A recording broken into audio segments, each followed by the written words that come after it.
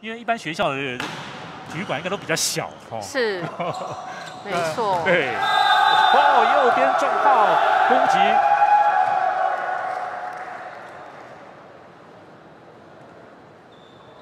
身体条件都很出色啊，能够跃起的时候选择也是高大的举球，一百八十五公分。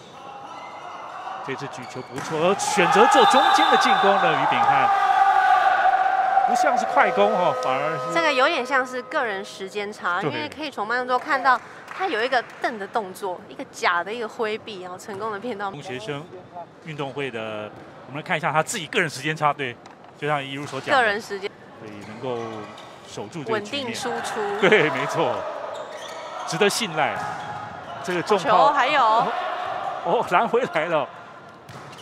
换了一个节奏啊！由中间快攻手得分啊，使得福成高中还是拿下这一局。哇，还是由俞敏汉来结束对，等于对，等于等于是这个。可以看到他出手。